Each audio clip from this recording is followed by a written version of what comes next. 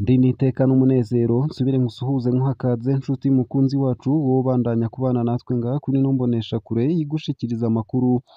Ibiganiro kumwe n'inkuru bigezweho biriko bivugwa irya nino mu gihugu c'u Burundi no hakurya y'imbibe z'igihugu c'u Burundi mu yandi makungu. Ndaguhaye kaze ndaguhaye mwiriwe neza cange mwaramutse neza bivanye n'aho udukurikira uherereye kuri uwu munsi wa kabiri igenekerezo rya mirongo ibiri na gatandatu ntwarane bibiri na mirongo ibiri na kane. Ico utegerezwa gusa ni ukumanuka munsi y'ino video hama ugafyona imbere y'ijambo Isange TV haraba handitse ijambo sabone canke subscribe. Urafyondako hama uba udushikirije intererano yawe yo kuja turakuronsa amakuru ibiganiro kumwe n'inkuru tubandanya gushikiriza. Bivugwa irya nino mu gihugu c'u Burundi ndetse no hakurya y'imbibe z'igihugu c'u Burundi mu bisata bitandukanye nk'igisata c'inkino igisata c'indero igisata ca politike igisata c'umutekano igisata c'amagara y'abantu igisata c'imigenderanire n'ayandi makungu igisata c'uburimyi n'ubworozi ndetse n'ibindi bisata bitandukanye. Ndakwifurije rero kubandanya uragira ijoro ryiza. Ano makuru rero harabafatiye ku ngingo nkuru nkuru zikurikira. I Bujumbura hari umuganga yahagaritswe n'igendereza. Muganga Patrick Bitangumutwenzi yoba yarahagaritswe ku wa gatatu w'indwi iheze mu gisagara ca Bujumbura bikozwe n'ibiro bikuru vy'igendereza yoba akurikiranwa n'uko yaneguye. Muri gurupe ya WhatsApp ibikorwa n'umugwi ujejwe kumenya ukuri no kunywanisha abarundi mu bijanye no kuzura amagufa y'abahitanywe n'ibiza vyahekuye Uburundi Patrick Bitangumutwenzi ni umuhinga mu ndwara z'abana havurira ku bitaro Maison Medicale biri muri komine ya Mukaza mu gisagara ca Bujumbura. Yazize ubutumwa yarungitse muri gurupe WhatsApp handitsemwo ukuntu yanegura uburyo akahise k'Uburundi gatohozwa uko akaba ariko bivugwa na bamwe mu baduhaye amakuru. Vyinshi ni kuri no vyinshi kuri no nkuru ni mukanye mu buryo bw'idonido ntuje kure. Na yo mu yandi makuru kandi ntunyemerere nkushikirize ino nkuru ivuga ko hari abagabo babiri bakomerekejwe cane n'abagore babo i Buhiga mu ntara ya Karusi. Leopold Ndihokubwayo w'imyaka mirongo itatu n'itanu yacumiswe n'umugore wiwe. Vyabaye mw'ijoro ryo ku wa gatanu wa cumi na gatatu ntwarane bibiri na mirongo ibiri na kane ku musozi wa Gisenyi muri komine ya Buhiga mu ntara ya Karusi hagati hashira uburengero bw'Uburundi hari uwundi mugabo yatemwe n'umugore wiwe yaciye ahunga. Leopold Ndihokubwayo yacumiswe imbugita zitatu mu nda mu mugongo no ku kuboko bikozwe n'umugore wiwe Gertrude Ningabire. Uwo yakomeretse ariko aravurirwa mu bitaro vy'i Karusi. Ico bapfuye yoba ari umwana Leopold yavyaye hanze. Vyinshi kuri ino nkuru ni mukanyi mu buryo bw'idonido ntuje kure.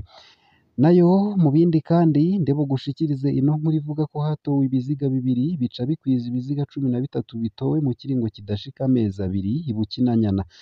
Ikiziga c'umuntu w'umugabo n'ic'umukenyezi vyaratowe kuri uwu w'Imana mu gitondo mu mazone abiri atandukanye ya komine Bukinanyana mu ntara ya Cibitoke iri mu buraruko bushira uburengero bw'Uburundi abajejwe intwaro bavuga ko ibiziga bitari munsi ya cumi na bitatu vyatowe i Bukinanyana mu kiringo kidashika amezi abiri.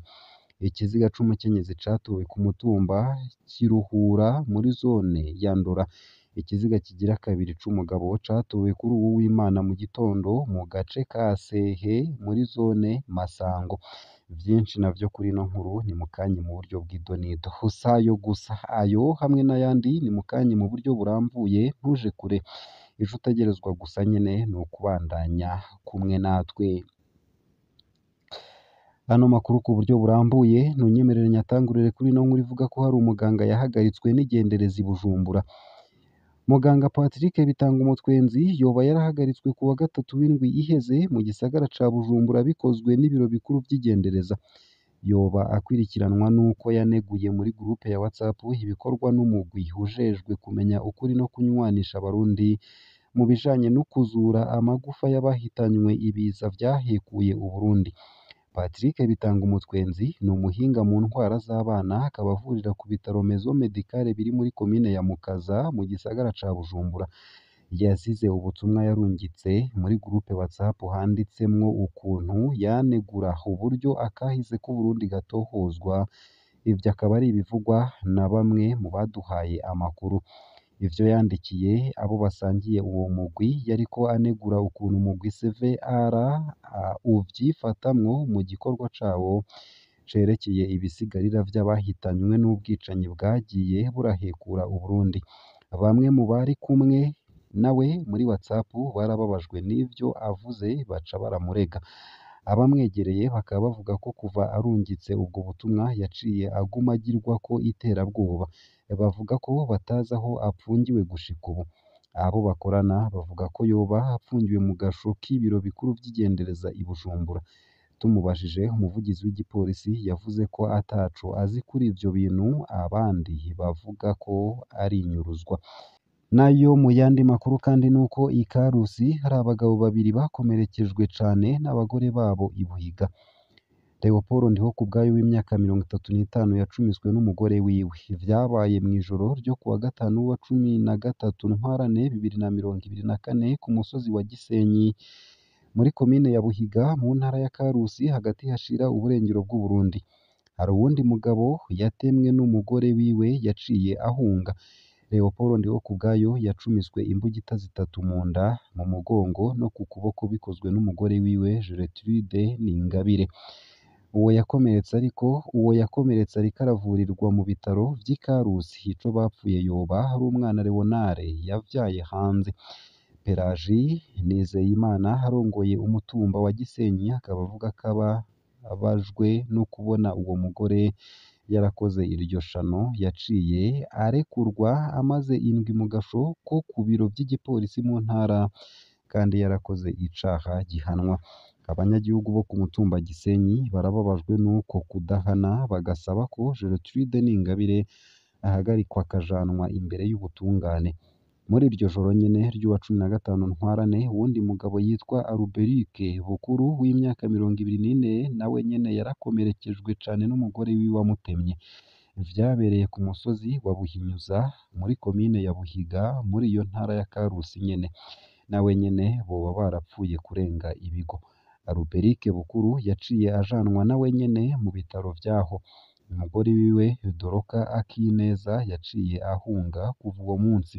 Salvatore Bizimana arongoye umutumba wa Buhinyuza amenyesha ko uwo mugore ariko araronderwa n'igipolisi kugira ngo arengutswe mu butungane. Nayo mu yandi makuru kandi nuko i Bukinanyana hatowe ibiziga bibiri bica bikwiza ibiziga cumi na bitatu bitowe mu kiringo kidashika amezi abiri. Ikiziga c'umuntu w'umugabo n'ic'umukenyezi vyaratowe kuri uwu w'Imana mu gitondo mu mazone abiri atandukanye ya komine Bukinanyana na ya komine Bukinanyana mu ntara ya Cibitoke mu buraruko bushira uburengero bw'Uburundi. Abajejwe intwaro bavuga ko ibiziga bitari munsi ya cumi na bitatu vyatowe i Bukinanyana mu kiringo kidashika amezi abiri.